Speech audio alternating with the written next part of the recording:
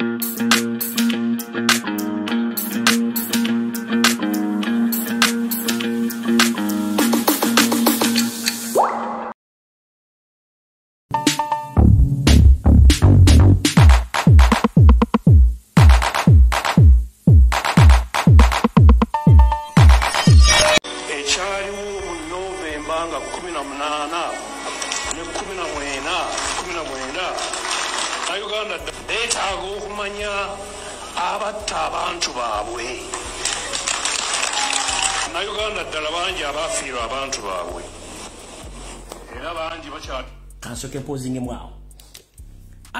Kiwakiwonoka mukama wo joseph bahabula otabasira mutano wakale the chief cowmentality boss yakusindise. Ogende mu un otandike okumusiiga akazigo kasamona omusiige buli kimu era omutukuze. Naye munange okuwoleza sitaani kitwala obudde bungi nnyo. Ate oteeka okubanga oli soba ate oteeka okubanga oli smart enough. Ne kati olwokuba nti nawe wayingiramu kakawo mentality thats why wali tusuubira nti abantu bagenda okukola ekintu kino.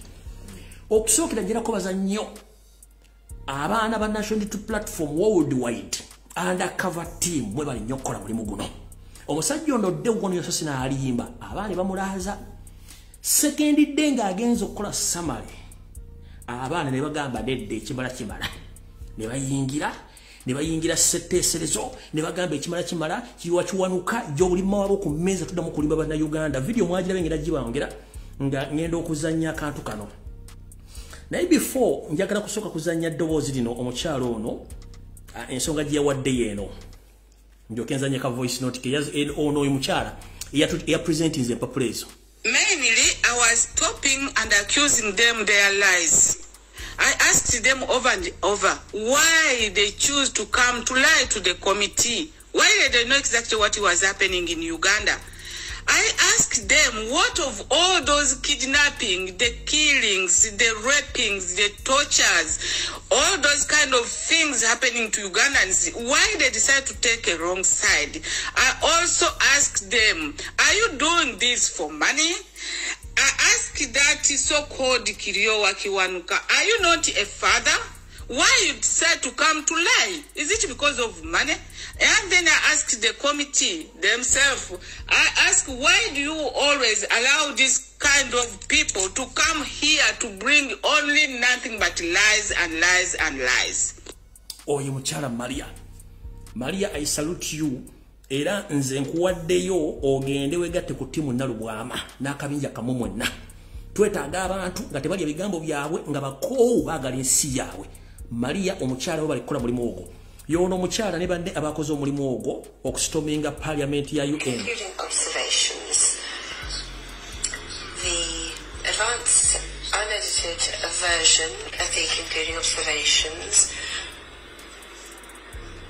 wuuyo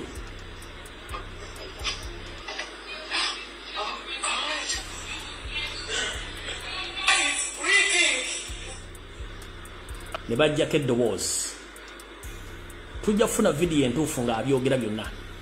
Kiriwa kiwanuka n'alyoka tunula mpwangali ng'embwa esudde ebyana mukaamugwanya nga tabitegeera omwana amulumbye n'amukonfulootinga teka ye atonejjeno naye ng'atunula mpwangali ng'embwa esudde ebyana mukaamugwanya ne weewunya kawo mentalite eri mu bannayuganda omusajja omukulu ameze envi ne munkwawa naye akyawuliriza omusajja omutemu so nga ate ne bajja mmujjawo ndoza mula omukyalo oyo ng'ategeeza abasajja ng'akabanoka buli omu yasiriikiridde n'agamba kikiro ekigenda mu maaso? Kiriwa kiwano kati yazzemu kwogera kigambo kyonna. Kyandibanga ogenda omukebera mu mpale ye ayinza okuba nga yabadde yamaze dda okwekojowera mu mpale eyo olw'ensonga nti yabadde tasuubira olukiiko lw'ensi yonna munnayuganda okuvayo kujja odduyingiramu n'alaga obuvumu obw'ekika ekyawaggulu maama nkwebaza sikubanja ne uganda tekubanja. Naye yoseri we yabadde kennyini yagambye kiki kino ekigenda mu maaso? Nabadde nsuubira nti obulimba bwange bugenda genda nga bwe nadde mbutegese. Naye abaana ba people power n'abaana ba nup munfuukidde ekizibu. Kale nno njala kwebaza omukyalo ono namwenna ababadde mu mission ene mubalinyo mubalire ddala okuexposinga mu seven to the maximum nti n'olukiiko lw'ensi no lwategedde obulimba bwe. So tamutegedde bulungi nnyo. Kitegedde bulungi nnyo so mukulu abantu bonna basiikire bagamba kiki nekigenda maaso? Ono abadde atulimbamu okuva mu 1 mukaaga teri bantu battibwa ng'ate abantu battibwa. So omukyala maria wetaaga medo eyekika ekyawaggulu mwebale kukola mulimu guno. Nza mukitegeera bulungi nnyo omukyalo oyo kyeyakoze.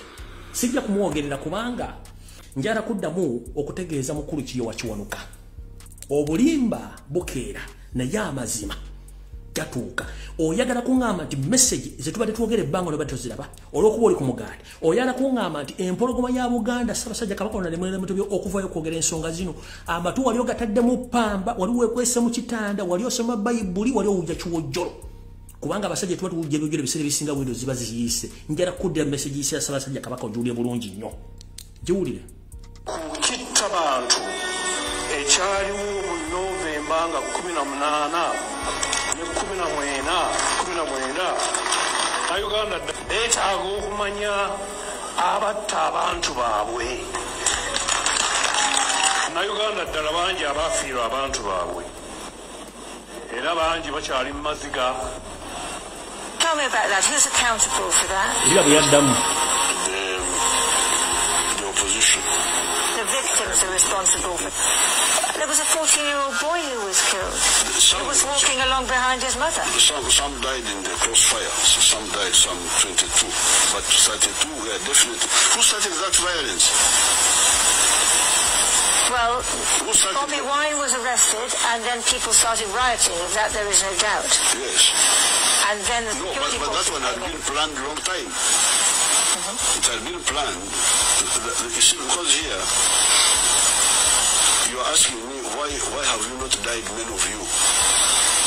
You ask No, I'm asking you who is accountable. No, no, no, no. That's no. what, what my question was. Who is accountable? Before, you asked me, why have you not died, so many of you, from corona?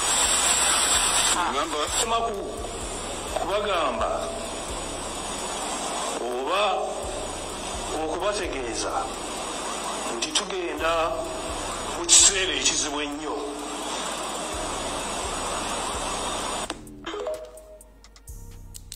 maasomogi yatugamba tugenda mu kiseera ekizibu ennyo. Kyekino kyetulimu kati bw'otunuulirayo sere ng'atunula bw'ati atandisa okutemya amaaso buli museveni lwazza eriiso bw'ati manya nti agenda kukulimba. Buli lwakanula amaaso aba akutiisa wambuuza questions addamu birala. Kati nekiri wakiwonuka yabadde atutte kawumentalite we ngaalooza teri baana bamalirira we are more than ready to repatriate our nation against the Tutsi dynasty tetugenda kukkiriza kati kiri wakiwonoka musajja mukulu bakutikka batya empita mbi n'ogitwala mu kavero ogenda obulira abazungu biki museveni byali